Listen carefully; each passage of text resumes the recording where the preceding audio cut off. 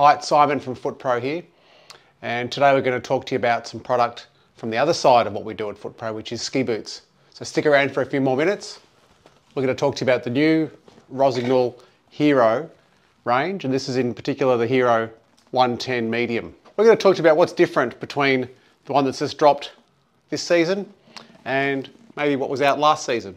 So the Rossignol Hero 110 Medium, that's a 110 flex, medium references, the 100 millimeter width. What's so kind of important about this boot is the use of their dual core shell technology. In this case, the dual core plastic is a polyurethane and the use of being able to inject different densities of that polyurethane into key areas keeps this boot's flex really constant through the initial phase of the flex through to the fully loaded phase of the flex. It also means that the boot performs really well in different temperatures. Um, it's a boot that, because of the way the plastics are designed, the boot has got a really kind of impressive rebound. Short story is not much has changed. These boots come off the exact same mold. They feature the same plastic. It's a polyurethane plastic used in the upper cuff and lower cuff. This is the liner that came out of the white one. The materials around the top of the boot look very similar, although they're slightly different. This is the upper um, kind of collar of the, the this season's version in the Meteor grey, and this is last season. It just feels a little bit, little bit softer and maybe a little bit puffier around the top of the, the liner out of the white boot. It's a little bit thinner and maybe a tiny bit firmer around the collar of the new Meteor Grey version. It was about this stage where I noticed there was one slight difference and it's the amount of neoprene that's used in the toe cap of the latest one versus the toe cap of the white one. And I can understand why the boot designers have done this. When you have a point in, in the liner where the kind of pressure against the foot goes from being a softer neoprene material, which is quite forgiving, to having a stubble kind of flat lock stitched seam and then the rest of the line of the material that's quite firm.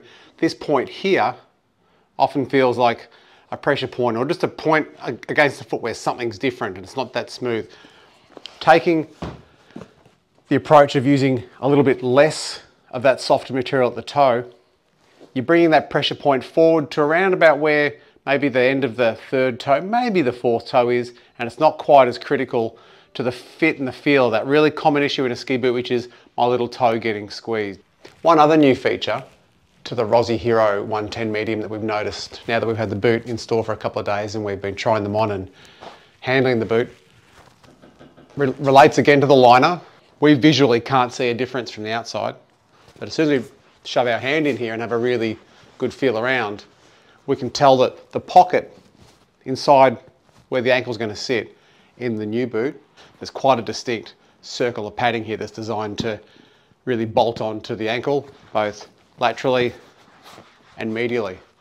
Um, the feeling from the inside of the liner out of the white boot is definitely a similar shape. It's, it's, they've used the same shape to create this, but the foam in there is just a tiny bit more mellow. So let's say same person tries on each of these boots. I dare say they're going to notice that the fit in the Meteor grey version is a little bit more aggressive around the ankles. For some that'll be a good thing, for others with slightly bigger ankles, they might prefer the fit of the, the white one. As always, you know, ski boots, uh, we talk about the features of a ski boot a lot more than we talk about how the boot fits and who the boot fits because there's a million different foot shapes out there. So that's when you need our help. So um, based on that, you know, you've always got to consult uh, your, your expert local ski boot fitter in this case. Come to FootPro. We'll be able to look at your foot shape, talk to you about your skiing, understand your experiences to date, good and bad. Um, and then we can advise you on whether something like the Hero 110 medium boot from Rossignol is the right boot for you. As always, if you want to learn more about something like ski boots, um, you want to be the first to see our clips, you know, you must subscribe. Um, give us a thumbs up if you've enjoyed our content today. And um, yeah, thanks everybody. See you on the slope soon. Ciao.